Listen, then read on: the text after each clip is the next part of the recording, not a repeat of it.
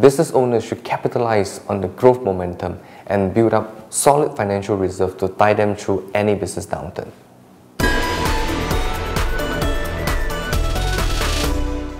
Hi everyone, I'm Master David Goh, third generation Imperial Feng Shui Master from Imperial Harvest. A new year is here, and I'm here to share with you my forecast for those who are born in the year of rabbit. So stay tuned. Congratulations to those who are born in the year of rabbit.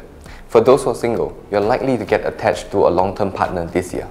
For those who are experiencing relationship issues, this year you will see an improvement in your relationship dynamics as well.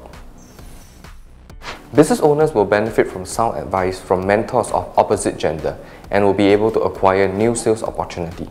Career professionals can look forward to exposure to different job scopes and acquire new skills. In the long run, this will benefit their career growth and advancement. Based on the auxiliary stars that we have calculated for your chart, we provide the following ratings for your career, wealth, relationship and health. Quarter 1. For business owners, we recommend you to stay away from ventures that promise you unrealistically high returns. Such ventures will lure you away from focusing on your core business and cause you to get distracted.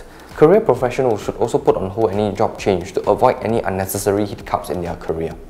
At the same time, you may also experience strained relationship between you and your family members. Therefore, be mindful of your choice of words and actions. Employees may get affected by company restructuring exercise or change of industry regulation this quarter. As a result, workload may increase exponentially and create unnecessary stress for them.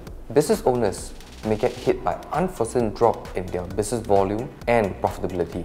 Hence, it is imperative for them to maintain a stable financial reserve to tide through any challenging business condition.